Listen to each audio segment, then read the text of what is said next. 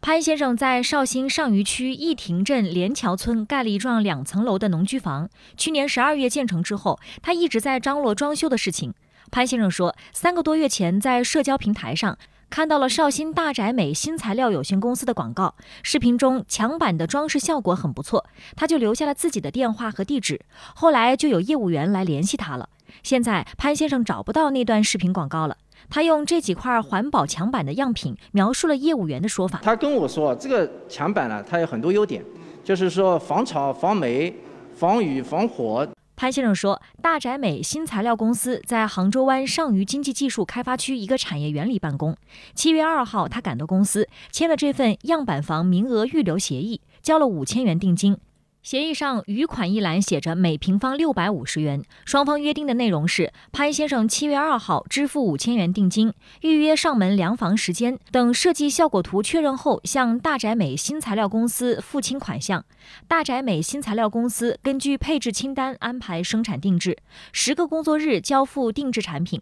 这份协议对样板房的具体内容没有详细说明。你要给我们做样板房的情况下，我给你优惠一点。除了这种碳晶板的集成墙面之外，嗯，他们还能给你提供什么样的产品呢？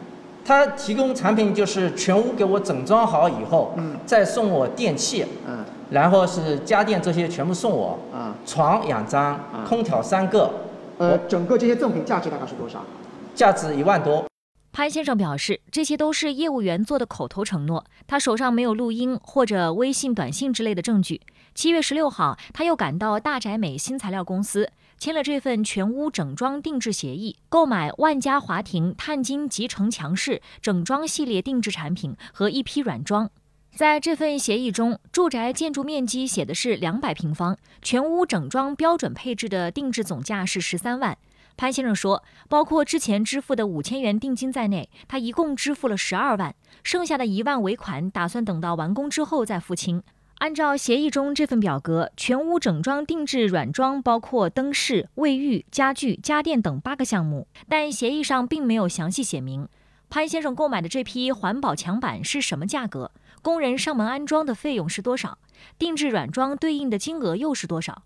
记者仔细看过协议之后，还发现了两个问题。第一，虽然协议名称是全屋整装定制协议，但项目内容一栏有手写的“自建房全屋定制材料”这样的一行字，这个位置还有公司盖章和一个手印。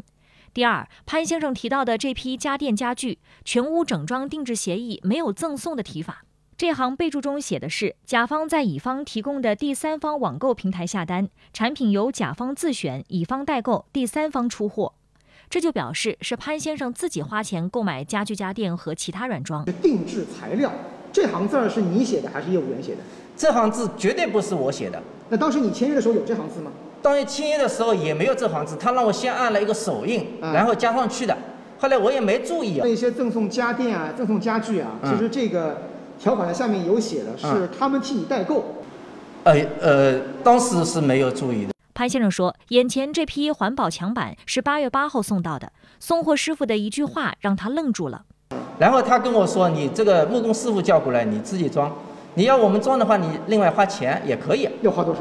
要花两万多。’他说：‘我跟你签的协议就是买买这个材料的协议了。’那我就懵了嘛。答应赠送那些家电家具呢？他说全没有了，也包括在我这个呃十三万之内了。”明明签的是全屋整装定制协议，业务员还说赠送家电家具，到最后安装墙板要额外花钱，家电软装也是自己付钱。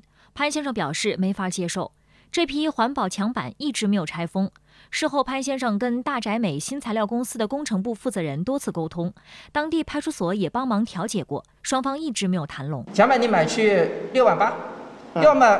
给你装好，你再出人工费，总共八万八。后面的合约他说取消了，哎，多余款项退给我。那这个方案你能接受吗？我不接受啊。你的要求是什么？我的要求是按照我们口头跟那个签的协议，你全屋给我整装好，嗯，该怎么样怎么样。找到杭州湾上虞经济技术开发区朝阳二路这个产业园，大宅美新材料公司的工程部负责人表示，双方都得按照合同办事。你买个东西，是不是我们签个协议？嗯，所有的东西肯定是以这个清单为准，你不可能说我，你说我的业务说给你免十万块钱，嗯，这个东西有可能吗？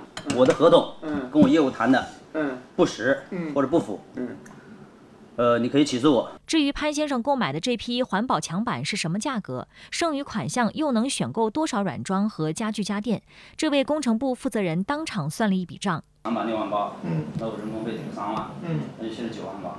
啊，就你选购的这个金额就小了。但你选购的金额就小了，那你还有瓷砖，瓷砖材料大概得一万五，那大概也得个就是辅材七七八八的水泥，大概也得个一万五，这就去了三万，三万加三万再加个六万八，你还有什么钱呢？那你选购的东西怎么办呢？那如果我到时候不给你选购的东西，那是不是又是我欺诈你？